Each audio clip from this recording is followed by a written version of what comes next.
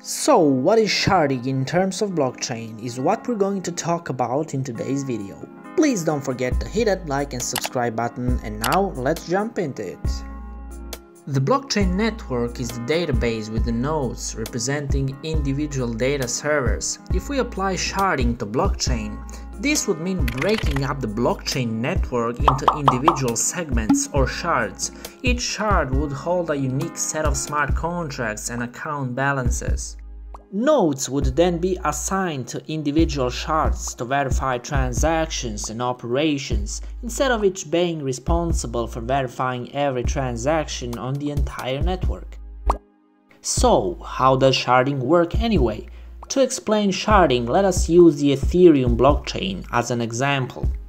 The Ethereum blockchain is made up of thousands of computers, currently 8622 each lending a certain amount of hash power to the network. It is the, this hash power that allows the Ethereum virtual machine to execute smart contracts and run decentralized applications.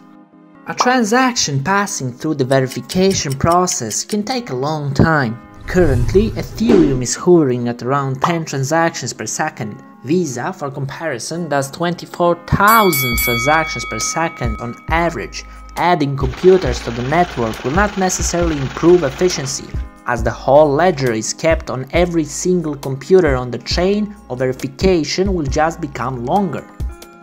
With sharding, blockchain will be divided into separate shards. Nodes will only have to run the part of the ledger that they are assigned in order to execute processes and validate transactions, instead of maintaining the whole ledger all of the time. As mentioned above, one of the biggest problems facing blockchain network is the issue of scalability. The more popular blockchain network becomes, the more users are initiating transactions, decentralized applications and other processes on the network. Increased transaction activity places increased demand on nodes to verify transactions, and there's a real threat that these blockchains could become clogged up. If this happens, transaction speeds become painfully slow, which is not an ideal situation for long-term sustainable blockchain adoption. So if the blockchain is broken up into smaller segments with teams of nodes assigned responsibility to individual segments, every node won't have to maintain the entire ledger to execute every operation. Transaction validation can therefore happen in parallel rather than in a linear fashion, increasing the speed of the entire network. It provides a solution to the scalability issues surrounding blockchain networks and therefore makes it more sustainable in the long term. But the main challenges of sharding relate to communication and security.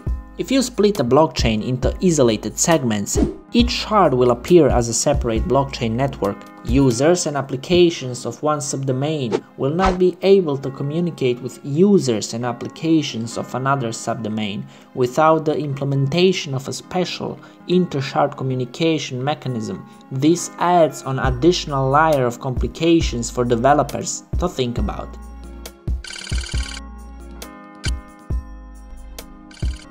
Security also becomes a concern, as it is easier for hackers to take over a single shard due to the reduced hash power required to control individual segments also known as a single shard takeover attack or a 51% attack. Once a segment has been hacked, the attackers can potentially submit invalid transactions to the main network, or is it possible for information in the specific segment to be invalidated and lost permanently? Two additional proposals have been suggested by developers to improve performance and transaction speed on blockchains. The first is to increase the block size with the basic thinking being that the bigger the block size, the more transactions you can fit into a block, and therefore the higher the number of transactions per second will be. Although this is the true, it also means that the bigger the block size is, the more computing power is needed to verify the block. If block sizes were to be increased indefinitely, only the most specialized, highly powered computing equipment would be able to handle the required processing power needed to act as a node. The increased cost of this type of equipment would mean node pools would necessarily become smaller and more centralized, increasing the risk of a 51% attack. Increasing the block size would also require a hard fork, which risks splitting the community. If not everyone upgrades to the new blockchain, two separate chains will exist, using two separate coins. Because of these issues, increasing the block size is only a short-term solution.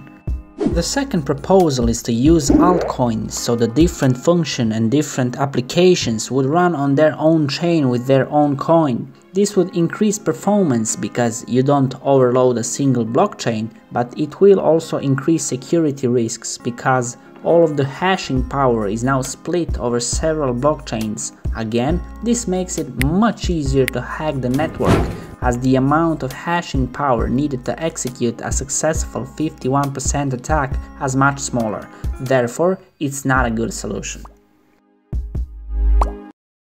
And thank you very much for watching. Please don't forget to leave us a like, hit that subscribe button and do let us know in the comment section down below what would you like to watch on this channel on the next episodes. Until the next video, bye bye.